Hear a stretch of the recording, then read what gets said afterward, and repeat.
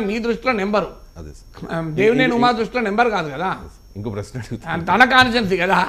తన ఎమ్మెల్యే తిరిగిపోతాడు కదా. ఏదైనా పార్టీ పెట్టినప్పుడు సంస్థాగతంగా క్షేత్రస్థాయిలో ఆ పార్టీని బలపరచుకోవాల్సిన అవసరం ఉంటుంది. ఇప్పుడు జనసేన నాయకులకి ఎక్కువ స్థాయిలో ఐ మీన్ ఎక్కువ సంఖ్యలో సీట్లు రాకపోతు రావట్లేదంటే ఆ పార్టీ బలంగా లేదు. వాళ్ళ పార్టీని ఆ నియోజకవర్గాల్లో ఆ ప్రాంతంలో బలపరచుకోలేదని అర్థం.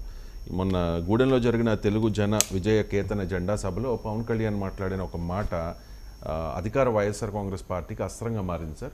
టీడీపీ వాళ్ళు కూడా అక్కడక్కడ దాన్ని వైరల్ చేస్తూ ఉన్నారు. ఆ పార్టీ బలంగా లేదు అందుకే ఇరవై నాలుగు మాత్రమే ఇచ్చామని చెప్పి జనసేన నాయకులు కూడా కాస్త అసంతృప్తి వ్యక్తం చేశారు. ఒకసారి ఆయన ఏమన్నారో ఒకసారి మీకు వినిపిస్తాను. అంటే సందర్భం వచ్చింది కాబట్టి తీస్తున్నాను సార్. మర్చిపోకుండా సలహాలు సూచించే వాళ్ళకి. అలాగే మనకు కూడా పోల్ మేనేజ్మెంట్ తెలుసా? ఆర్గనైజేషన్ బలం ఉందా? సంస్థాగతంగా పార్టీకి పోయిన తెలుగుదేశం పార్టీలతోటి మనం పోటీ పడగలమా? ఎనిమిది వందల నుంచి వెయ్యి మంది బూత్ కార్యకర్తలు ఉన్నారా మనకి ప్రతి నియోజకవర్గంలో? వెయ్యి మందికి యాభై రోజులు ఎంతో కొంత డబ్బులు ఇస్తూ భోజనాలు పెట్టే సత్తా మన నాయకత్వాలకు ఉందా? మన నాయకత్వం ఇంకా ఎదుగుతా ఉంది. వెయిట్ చేయాలి. రైట్ సార్ ఆయన పార్టీని అంటే తనకు తానే విమర్శించుకున్నారు. అది ఆయన స్వయంకృత అపరాధమే అనేది కొంతమంది వాదన. అంటే వైసీపీకి క్షేత్రస్థాయిలో నాయకత్వం లేదు బూత్ స్థాయిలో అని పవన్ కళ్యాణ్ చెప్పింది నిజం. మన ఇంతదాకా చెప్పింది అదే కదా. జనసేన. సో జనసేన సారీ జనసేనకు క్షేత్రస్థాయిలో నాయకత్వం లేదు బూత్ స్థాయిలో ఖర్చు పెట్టుకోగలిగే నేతలు ఉన్నారా? తెలుగుదేశం లాగా మనకు నాయకత్వం ఉన్నారా? ఇవన్నీ ఆయన చెప్పిందంతా నిజం. కానీ పవన్ కళ్యాణే ఆ పార్టీ అధ్యక్షుడు. పదిహేనేళ్ళుగా ఆ పని చేయడంలో పవన్ కళ్యాణ్ ఎందుకు విఫలమయ్యాడు అని ఆత్మ పరిశీలన కూడా చేసుకోవాలి కదా. దానికి ఎంత మేర కృషి చేశాడు? ఆ కృషి ఫలితాలు ఇవ్వకపోతే ఎందుకు ఇవ్వలేదు? అది ఆత్మపరిశీలన చేసుకోవాలి. తర్వాత పవన్ కళ్యాణ్ చేసిన పెద్ద పొరపాటు ఏంటంటే ఇది పార్టీ ఇంటర్నల్ మీటింగ్లో మాట్లాడాలి. ఇది బహిరంగ సభలో మాట్లాడితే ఎట్లా? సో పార్టీ ఇంటర్నల్ మీటింగ్లో మాట్లాడేది బహిరంగ సభలో మాట్లాడకూడదు. సో ఎప్పుడు ఏది మాట్లాడాలో అప్పుడు అది మాట్లాడాలి. సో సందర్భము సమయం కూడా ఉండాలి కదా. బహిరంగ సభలో నా తన బలహీనతలను ఏకరువు పెట్టుకుంటే లేదు ఇరవై నాలుగు సీట్లు మాత్రమే ఎందుకు జనసేన పోటీ చేస్తున్నది? చంద్రబాబు నాయుడుకు ప్యాకేజ్ తీసుకున్నాడు. ఇలాంటి విమర్శల వల్ల పవన్ కళ్యాణ్ అలా రియాక్ట్ కావాల్సి వచ్చింది. బహుశా it was more an emotional reaction.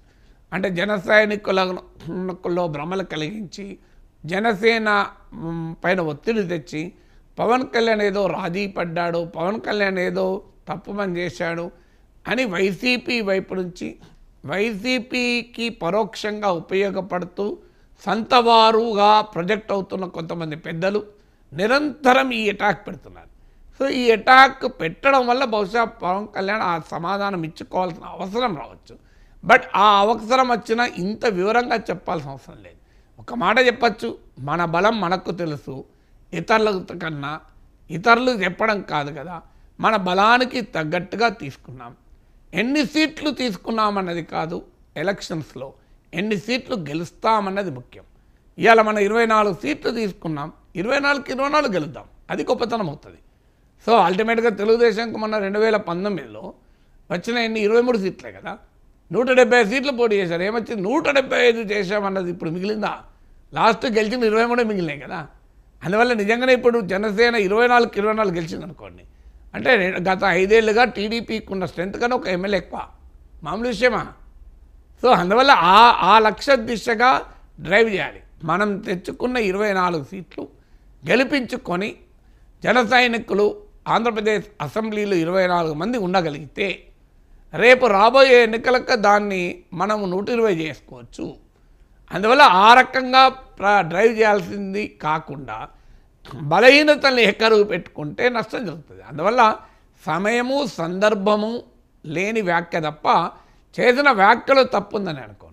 Party అంతర్గత సమావేశంలో చేయాల్సినటువంటి చర్చను బయట బహిరంగంగా గనక చేస్తే అది ఖచ్చితంగా రకరకాల రీతుల్లో ప్రత్యర్థులకు అస్త్రాలైతే సొంత వారికి ఆవేదన కలిగించవచ్చు. అందువల్ల ద కాంటెక్స్ట్ మ్యాటర్స్ కదా. తెలుగుదేశం అండ్ జనసేన ఈ రెండు పార్టీలు